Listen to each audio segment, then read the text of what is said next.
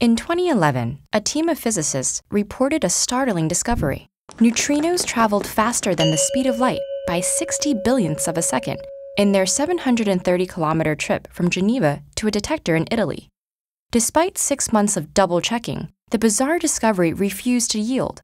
But rather than celebrating a physics revolution, the researchers published a cautious paper arguing for continued research in an effort to explain the observed anomaly.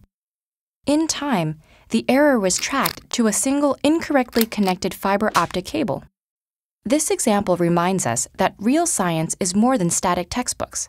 Instead, researchers around the world are continuously publishing their latest discoveries, with each paper adding to the scientific conversation.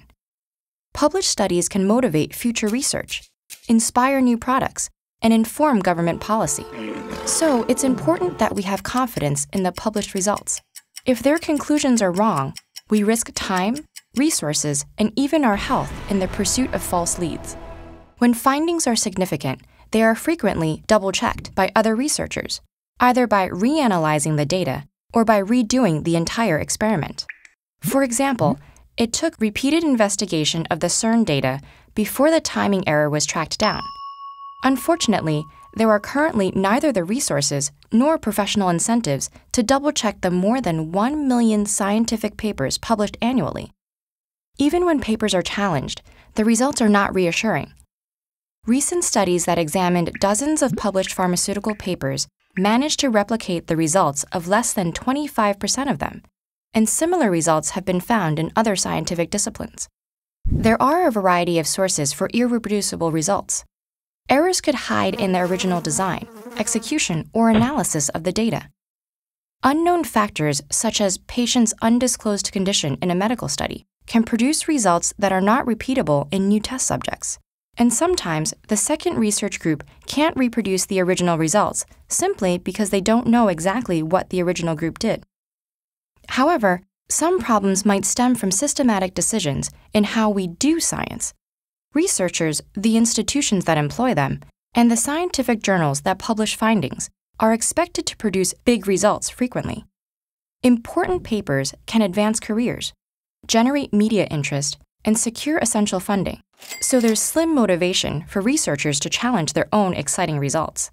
In addition, little incentive exists to publish results unsupportive of the expected hypothesis. That results in a deluge of agreement between what was expected and what was found. In rare occasions, this can even lead to deliberate fabrication, such as in 2013 when a researcher spiked rabbit blood with human blood to give false evidence that his HIV vaccine was working.